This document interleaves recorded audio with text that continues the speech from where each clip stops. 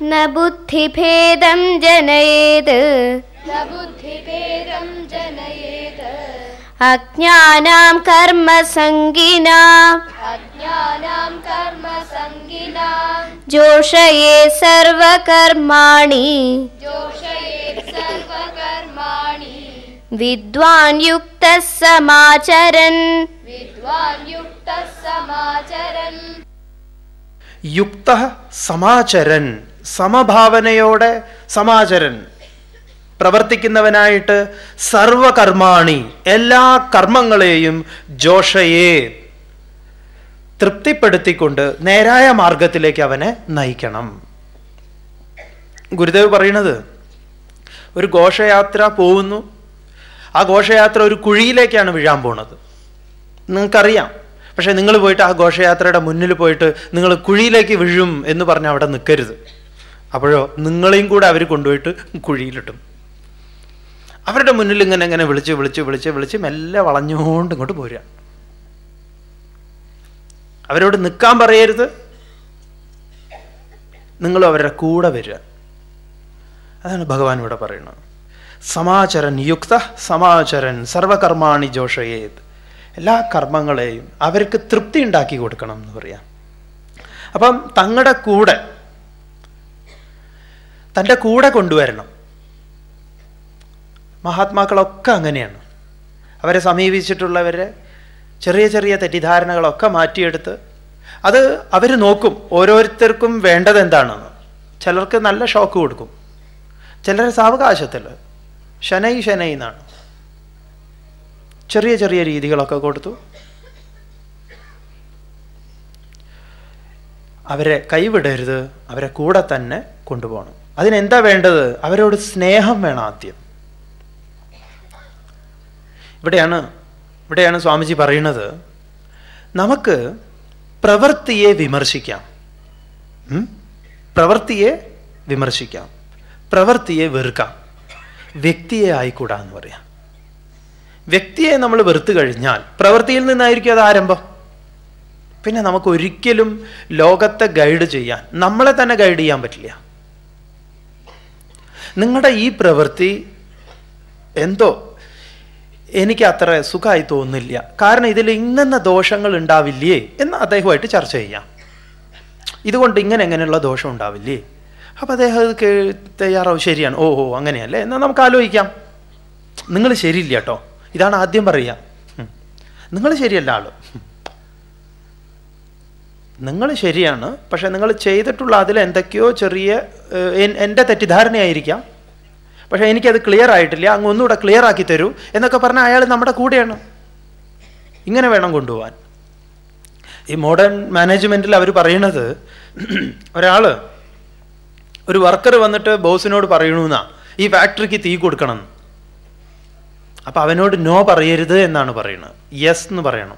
എന്നിട്ടൊരു ബട്ട് പറയാം. എന്നിട്ട് ചോദിക്കുക അല്ല അത് തീ കൊടുത്താൽ എങ്ങനെയാണ് എവിടെയാണ് കൊടുക്കേണ്ടത് ആദ്യം? ഏത് ഭാഗത്തുനിന്ന് കൊടുക്കണം? ഇത് തീ കത്തിക്കഴിഞ്ഞാൽ അടുത്ത പ്രദേശത്തേക്ക് വ്യാപിക്കില്ലേ? അപ്പം അതുകൊണ്ട് നമ്മുടെ പ്രശ്നം പരിഹാരമാവുമോ നീ പറഞ്ഞത് ശരിയാണ്. ഞാനും പലപ്പോഴും ആലോചിച്ചിട്ടുണ്ട് ഇതിന് തീ കൊടുക്കണമെന്ന്. അവനെ ഗൈഡ് ചെയ്യാൻ പറ്റും. അതേസമയത്ത് ഉടനെ പോലീസിൽ ഫോൺ ചെയ്ത് അവനെ പോലീസ് പിടിപ്പിച്ചു കഴിഞ്ഞാൽ എന്തെങ്കിലും അവൻ പുറത്തു വരും. ഒരിക്കലും അവനെ ഗൈഡ് ചെയ്യാൻ പറ്റില്ല. അതെ അതല്ലേ സംഭവിക്കുന്നത്. അപ്പം നമ്മൾ വ്യക്തികളെ വെറുക്കണു?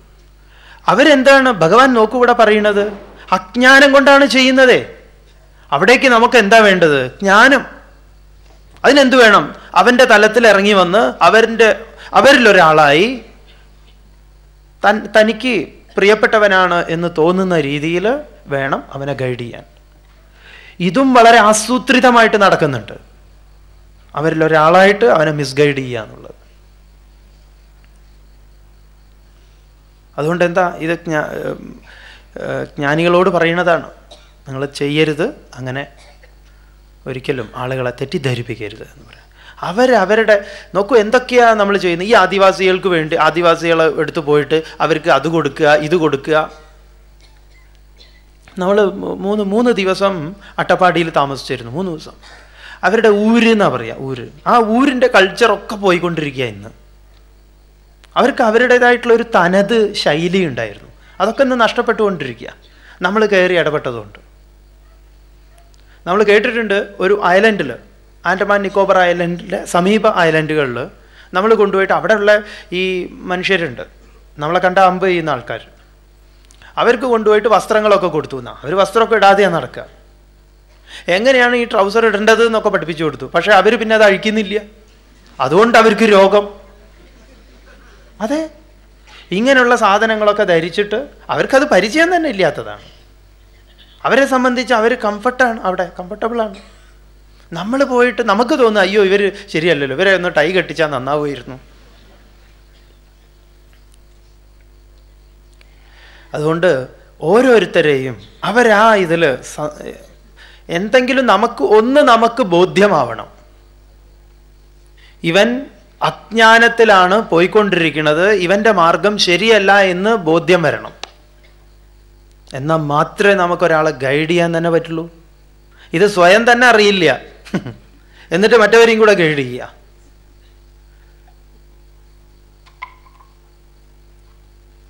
അതുകൊണ്ട് എന്നാ ബുദ്ധിഭേദം ജനയെ? ബുദ്ധിഭേദം ഉണ്ടാക്കരുത്. അവരെ നേരായ വഴിയിലേക്ക് കൊണ്ടുവരാം. തുടർന്ന്. പ്രകൃതി ക്രിയമാണാനി. प्रकृते क्रियमाणानि। गुणैकर्माणि सर्वशः। गुणैकर्माणि सर्वशः। अहङ्कारविमूढात्मा अहङ्कारविमूढात्मा कर्ताहमिति मन्यते। कर्ताहमिति मन्यते പ്രകൃതേ ക്രിയമാണാനി ഗുണൈകർമാണി സർവശ അഹങ്കാര വിമൂഢാത്മ കർത്താഹം ഇതി മന്യതേ. പ്രകൃതേഹെ പ്രകൃതിയുടെ ഗുണൈഹി ഗുണങ്ങളെ കൊണ്ട് സർവശ സഹ സകലവിധമായിട്ടുള്ള കർമാണി കർമ്മങ്ങളും ക്രിയമാണാനി ചെയ്യപ്പെടുന്നു. എന്താണ് കർമ്മങ്ങൾ പ്രകൃതിയുടെ നിയമങ്ങൾക്ക് അനുസരിച്ച് നടക്കുന്നതാണ് കർമ്മങ്ങൾ അഹങ്കാര വിമൂഢാത്മാ അഹങ്കാരം കൊണ്ട് ചേതസ് മൂഢമായിട്ടുള്ള വിഡ്ഢി. അഹം കർത്ത ഇതി മന്യതേ ഞാനാണ് ചെയ്യുന്നത് എന്ന് വിചാരിക്കണു. അവന്റെ വിചാരം ഞാൻ ചെയ്യണു എന്നാ. ഞാൻ അങ്ങനെ ചെയ്തിട്ടുണ്ട് ഞാൻ ഇങ്ങനെ ചെയ്തിട്ടുണ്ട് ഞാൻ ഇനിയും ചെയ്യും. ഇതാണ് അഹങ്കാരം. അഹങ്കർത്ത അഹം ഭോക്ത ഇതി അഹങ്കാര അത് മൂന്ന് കാലത്തെയാണ് ഇന്നലെയും ഇന്നിനെയും നാളെയെയും. ഇന്നലെ ഞാൻ അങ്ങനെയൊക്കെ ചെയ്തിട്ടുണ്ട്. ഇന്നോ ഇന്ന് ഞാൻ തപ്പ ചെയ്തുകൊണ്ടിരിക്കുക നാളെയോ നാളെയും ഞാൻ ചെയ്യും. രാമകൃഷ്ണദേവൻ പറയും നിന്നെ ഞാൻ ശരിയാക്കി തരാമെന്ന് ഇങ്ങനെ പറയുന്നു. അല്ലേ? അപ്പോൾ മൂന്നാൾ ഇങ്ങോട്ട് തിരിഞ്ഞു നിൽക്കുന്ന നിന്നെ ഞാൻ ശരിയാക്കി തരാമെന്ന് അഹങ്കാരം. ആ അഹങ്കാരം ഉള്ള അഹങ്കാരി വിചാരിക്കണു ഞാനാണ് കാര്യങ്ങളൊക്കെ ചെയ്യണത്. ഞാനില്ലെങ്കിൽ അറിയായിരുന്നു. കാണായിരുന്നു എന്താ സംഭവിക്കുക ഞാൻ ആ സമയത്ത് ഇടപെട്ടതുകൊണ്ട് ഇല്ലേ? ഈ അഹങ്കാരത്തെ അന്വേഷിച്ചു കഴിഞ്ഞാൽ അഹം ബോധത്തിലെത്തും. അപ്പൊ രക്ഷപ്പെടാം അഹങ്കാരത്തിൽ നിന്ന് അഹം ബോധത്തിലേക്കൊരു യാത്ര വേണം. അല്ലെങ്കിലോ അവൻ നമ്മളെ സമൂലം നശിപ്പിക്കും എന്ന് പറയാം. അപ്പം അഹങ്കാരത്തെ പിടിച്ചാൽ നല്ലതാണ് അഹം ബോധത്തിലെത്താം. എപ്പോഴാ കിട്ടുക? നമ്മൾ പറഞ്ഞല്ലോ കഴിഞ്ഞ ദിവസങ്ങളിൽ ദേഷ്യം പിടിക്കുമ്പം. അല്ലെങ്കിൽ തന്നെ ആരെങ്കിലും ഇൻസൾട്ട് ചെയ്തു എന്ന് വിചാരിക്കുമ്പം. അപ്പം കിട്ടും. അപ്പം പിടിക്കാം. ആരെയാ ഇൻസൾട്ട് ചെയ്തത്? ആരാ ഞാൻ? അങ്ങനെ പിടിച്ച് അങ്ങോട്ട് പോയാൽ മതി ഉള്ളിലേക്ക്. മറ്റേതാവുമ്പോൾ പുറത്തേക്കാണ് നമ്മളെ കൊണ്ടുപോവുക. പിടിച്ചു കഴിഞ്ഞാൽ ഉള്ളിലേക്ക് പോകും അവൻ എവിടെ നിന്ന് പൊങ്ങിയോ അവിടേക്ക് കൊണ്ടുപോകും അവിടെ എത്തിക്കഴിഞ്ഞാലോ? ആത്മരതി ആത്മതുഷ്ട ആത്മതൃപ്തി. അല്ലെങ്കിൽ ബ്ലഡ് പ്രഷർ പിന്നെ അതിന്റെ പുറത്തുള്ള ഞെരുപ്പ് രോഗങ്ങൾ ഇങ്ങനെ ഇത്യാദികളൊക്കെ വർദ്ധിക്കും. ഒരുപാട് ഊർജം വ്യയം ചെയ്യപ്പെടണം അഹങ്കാര വിമൂഢാത്മാ അഹങ്കർത്ത ഇതി മന്യത്തെ. അഹങ്കാരി വിചാരിക്കണം ഞാനാണ് ഇതൊക്കെ ചെയ്യുന്നത്. അതുകൊണ്ട് ജ്ഞാനിയോ ജ്ഞാനിയുടെ ലക്ഷണം ഭഗവാൻ പറയുന്നു. തത്വവിത്തു മഹാബാഹോ. തത്വ गुणकर्म विभागयोः गुणागुणेषु वर्तन्ते। गुणागुणेषु वर्तन्ते। इति मत्वा न सज्जते। इति मत्वा न सज्जते। तत्त्ववित्तु महाबाहो गुणकर्मविभागयोः गुणागुणेषु वर्तन्ते। इति मत्वा न सज्जते। हे महाबाहो। അല്ലയോ പരാക്രമശാലിയായിട്ടുള്ള അർജുന ഗുണകർമ്മ വിഭാഗയോഹോ ഗുണങ്ങളുടെയും കർമ്മങ്ങളുടെയും വിഭാഗം കൊണ്ട് തത്വവിത്തു തത്വവിത്ത് എന്ന് പറഞ്ഞാൽ എന്തെങ്കിലും തരത്തിലുള്ള ഒരു വിത്തല്ലേ? ഇനി അത് ഏതെങ്കിലും നഴ്സറി പോയാൽ കിട്ടുമോ? തത്വത്തെ ബോധിച്ചവൻ തത്വവിത്ത് പറയാം. പരം പരമാർത്ഥം അറിയുന്നവൻ. അവർ എന്താ വേണ്ടത്? ഗുണാഗുണേഷു. ഗുണങ്ങൾ ഗുണങ്ങളിൽ വർത്തന്തേ വർത്തിക്കുന്നു. ഇതി മത്വ എന്നറിഞ്ഞിട്ട് ന സജ്ജതേ. അവരെന്താ? ആസക്തരായിട്ടിരിക്കുന്നില്ല. അതിൽ സംഘിക്കുന്നില്ല എന്ന് പറയുന്നു. അപ്പം ഇന്ദ്രിയങ്ങൾ ഇന്ദ്രിയങ്ങളുടെ വ്യാപാരം അനുഷ്ഠിക്കുന്നു. കണ്ണ് കാണുന്നു കാത് കേൾക്കുന്നു ത്വക്ക് അറിയുന്നു രസന അറിയണു. തരക്കേടില്ല അല്ലെങ്കിൽ നന്നായിരുന്നു എന്നൊന്നും അവർ പറയുന്നില്ല. ശ്രീ ബുദ്ധൻ പറയും ചിരിക്കുമ്പം ചിരിക്കുക കരയുമ്പം കരയുക ഭക്ഷണം കഴിക്കുമ്പോൾ ഭക്ഷണം കഴിക്കുക കിടന്നുറങ്ങുമ്പം ഉറങ്ങുക ഇതൊക്കെയാണത്. അതെന്താ സ്വാമി? ഞങ്ങളതൊന്നുമല്ലേ ചെയ്യുന്നത്? അല്ല എന്ന് പറയുക. പിന്നെയോ? ഭക്ഷണം കഴിക്കുമ്പോൾ നമ്മുടെ ചിന്ത വേറെ ഓരോന്നാണ്. ഒരു ഒരു ആചാര്യം പറയും ഒരു ഗ്രൈൻഡർ വർക്ക് ചെയ്യുന്നത് പോലെ വെറുതെ ഇങ്ങനെ വർക്ക് ചെയ്തുകൊണ്ടിരിക്കുന്ന ഇത് നമ്മുടെ ഇതൊക്കെ. പലപ്പോഴും മറന്നു പോകും നമ്മൾ എന്തൊക്കെയാണ് കഴിച്ചതെന്ന് കഴിക്കുന്നത്. എന്തൊക്കെയോ ചിന്തകളിലാണ് കിടന്നുറങ്ങാനും പറ്റുന്നില്ല. മനസ്സ് പോയിട്ട് വിലയിക്കുന്നില്ല. തിരിഞ്ഞും മറിഞ്ഞും തിരിഞ്ഞും മറിഞ്ഞും. ഇല്ലേ? നടക്കുമ്പോൾ നടക്കുന്നില്ല നടക്കുമ്പോൾ വേറെ ഓരോ ചിന്തയാണ്. ഇങ്ങനെ ഓരോന്ന് ചെയ്യുമ്പോഴും നമ്മൾ വേറെ ഓരോ സ്ഥലത്താണ് പക്ഷെ ജ്ഞാനി എന്ത് വിചാരിക്കണു? കർമ്മ ഗുണങ്ങളും ഗുണ ഇന്ദ്രിയങ്ങളും ഇന്ദ്രിയ വിഷയങ്ങളും. അത് അതിൽ വ്യാപരിക്കണം.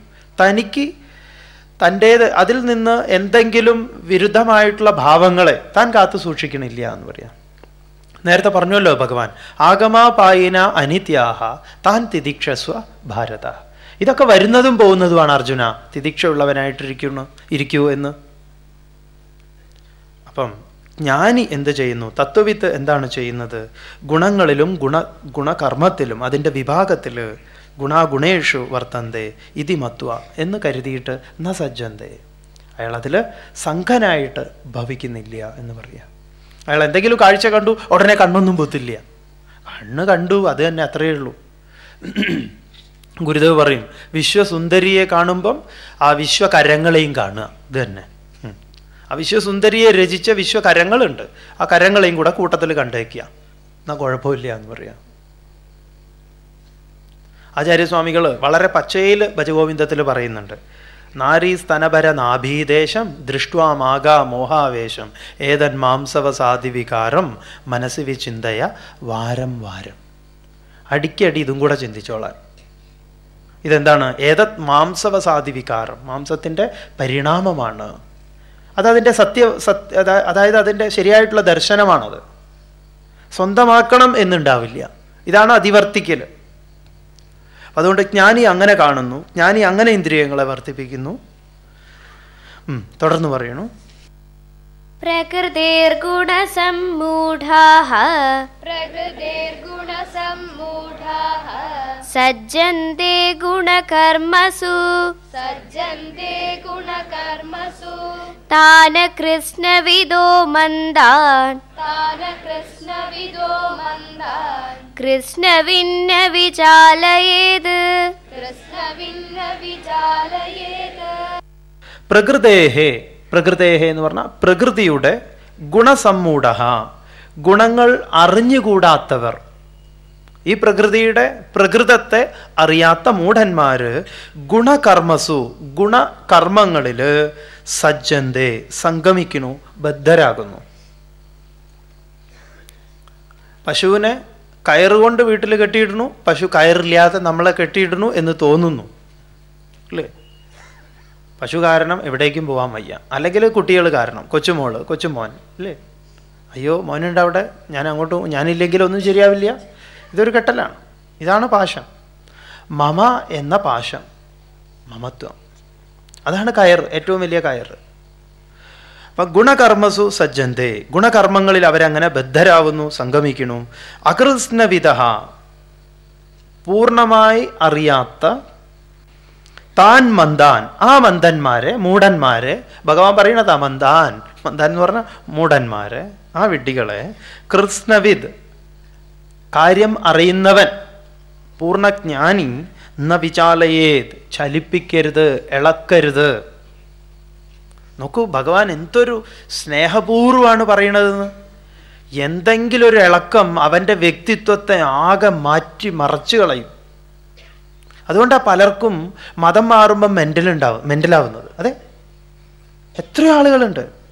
പാലക്കാട്ട് ഒരമ്മ മതം മാറിയിട്ട് അവരാകെ ആകെ അസ്വസ്ഥയാണ്. നല്ലൊരു അമ്മയായിരുന്നു. അവർക്ക് രാത്രി ഉറക്കമില്ല. അയ്യയ്യോ അങ്ങനെ എന്താ വേണ്ടത്? അത് ഇത് എന്നൊക്കെ പറഞ്ഞിട്ട്.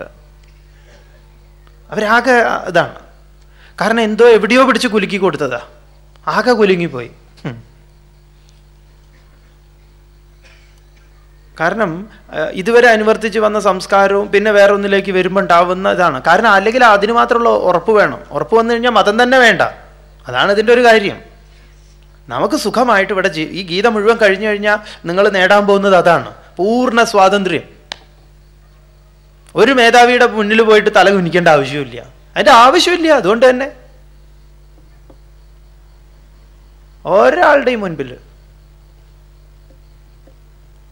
ഭഗവാൻ എന്ന് പറഞ്ഞിട്ട് ഒരാളെ തന്നെ നമുക്ക് മുന്നിൽ വെക്കേണ്ട ആവശ്യമില്ല എന്ന് പറയാം. ആ സ്വാതന്ത്ര്യം ഭഗവാൻ തരാൻ പോണ. അതുകൊണ്ട് നോക്കൂ എത്ര സ്നേഹത്തോട് കൂടിയിട്ടും ശ്രദ്ധയോട് കൂടിയിട്ടാണ് നമ്മൾ പറയണത്. കുലുക്കരുത്. ഇതൊക്കെ നമ്മൾ എങ്ങനെ കുട്ടികളെയൊക്കെ ഇടയ്ക്ക് നമ്മൾ കുലുക്കാറുണ്ട് ഇങ്ങനെ അല്ലേ കുട്ടികളുടെയൊക്കെ മനസ്സിനെ നോവിക്കുന്നത് എത്ര എത്ര ദുഷ്കരമായിട്ടുള്ള പ്രവൃത്തിയാണെന്നറിയോ?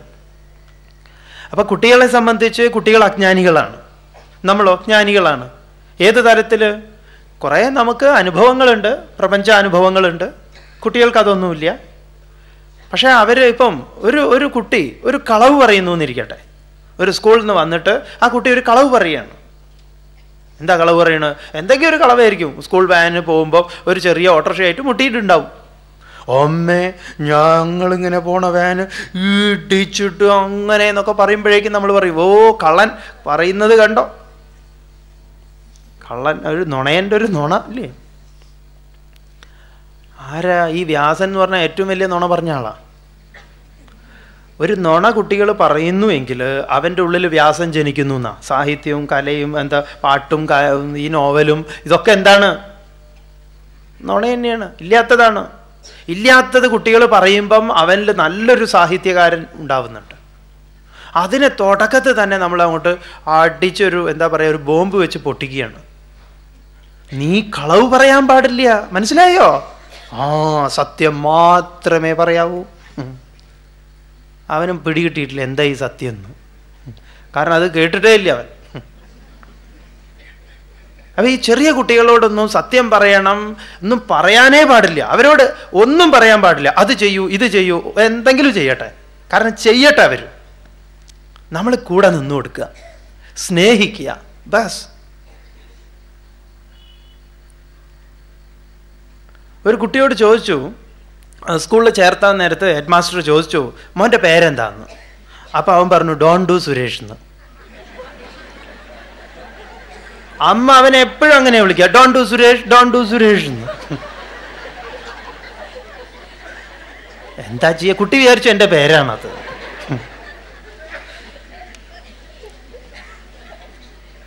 ഇന്നേക്ക് ഇത്ര മതി ബാക്കി നാളെയാവും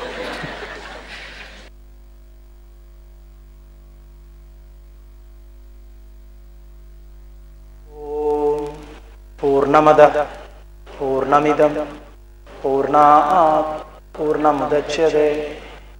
पूर्णस्य पूर्णमादाय पूर्णमेवावशिष्यते। ॐ शान्ति।